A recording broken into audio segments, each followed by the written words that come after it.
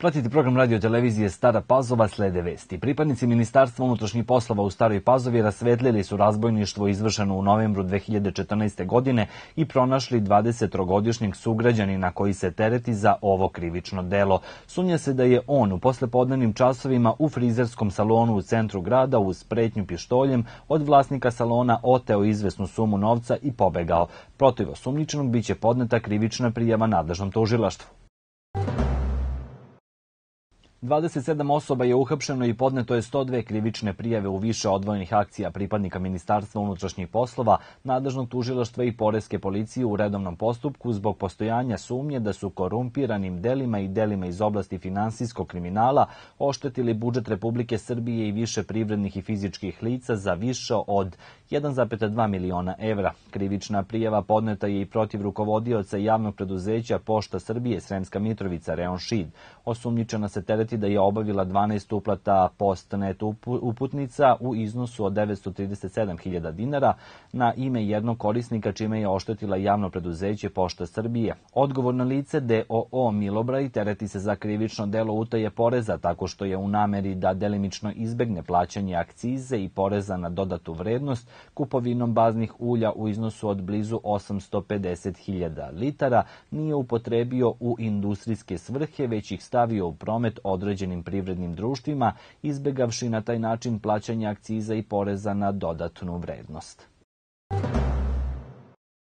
Zajednička akcija Vlade Republike Srbije i Privredne komore Srbije počela je danas sa najavljivanjem dodele nagrada za doprinos usklađivanju rada i roditeljstva koja simbolično nosi naziv Prijatelj porodice na konferenciji održanoj u Privrednoj komori kojoj je između ostalog prisustvovala i predsednica vlade Ana Brnabić. Kao doprinos aktivnostima vlade na polju populacione politike, Privredna komora Srbije pokreće praksu dodeljivanja priznanja preduzećima i svim privrednim društvima u Republici Srbiji koja su, pored svih poslovnih aktivnosti, aktivnosti i rezultata poslovanja uskladila rad i roditeljstvo u okviru svojih delatnosti i stvorila porodično prijateljsko okruženje.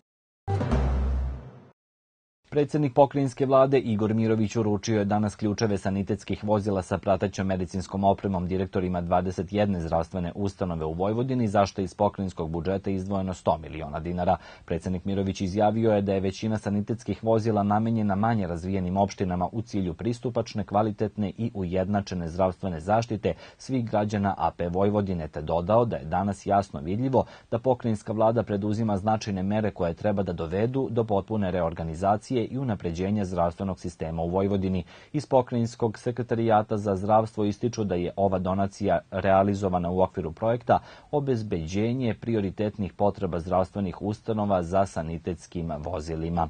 Sanitetska vozila donirana su Institutu za zdravstvenu zaštitu dece i omladine Vojvodine, Kliničkom centru Vojvodine, opštim bolnicama iz Kikinde i Sente te domovima zdravlja u 17 opština u Vojvodini.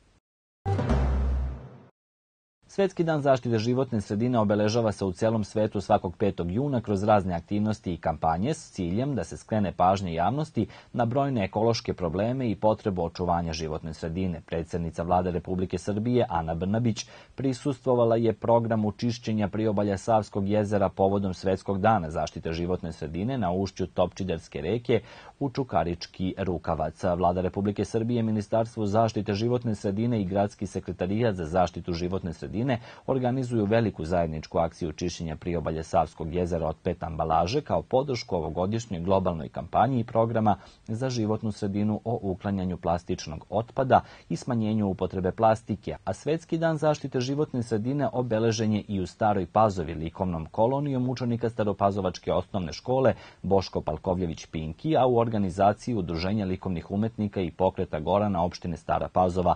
Ovaj skup održava se po drugi put u organizaciji pokreta Gorana opštine Stara Pazova i Udruženja likovnih umetnika, a okupio je desetak učenika sekcije Pinkijeva duga.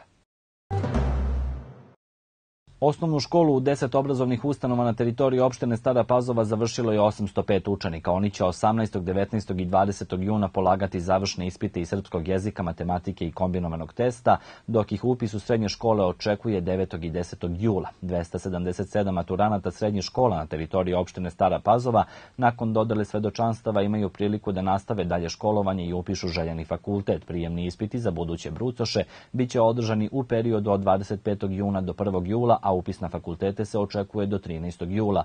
Fakulteti su ove godine zadržali svoje cene školarina na Beogradskom univerzitetu koje variraju od 50 do čak 243.500 dinara po godini. Prijemni ispiti na fakultetima univerziteta u Novom Sadu odvijaće se od 20. juna do 3. jula. Nakon prijemnog ispita sledi procedura upisa dokumenta za upis predavaće se od 6. do 18. jula u zavisnosti od ustanove.